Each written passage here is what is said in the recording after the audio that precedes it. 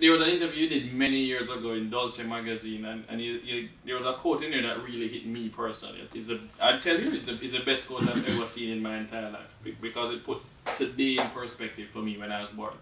And he said that you know you're lucky to be born now. You're born in an era where you could own a pair of shoes. If you had been born 250 years ago, you would be owned. You would be a slave.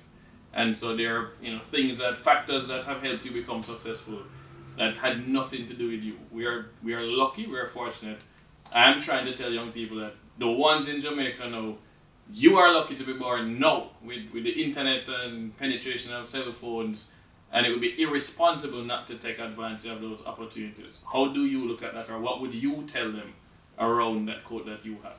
I would say, well, we're for, fortunate. Uh, yes, that's true, but it's easy if you have not experienced growth, not to know what it looks like, not to know what it feels like, not to know what it smells like, and you don't trust that it's going to continue. So that's easy. Therefore, it's very the natural default is to do nothing because you're going to say, but look at what has happened in the last 20 years, right? Right. And uh, so what can I expect in the next 20 years? Why should I expect differently?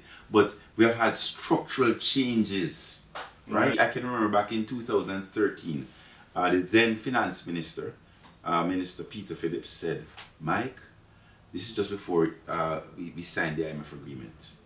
Mike, I will do anything to make sure we don't get back into this situation. Wow. Because I had to literally, figuratively crawl across the room on my belly to beg for help.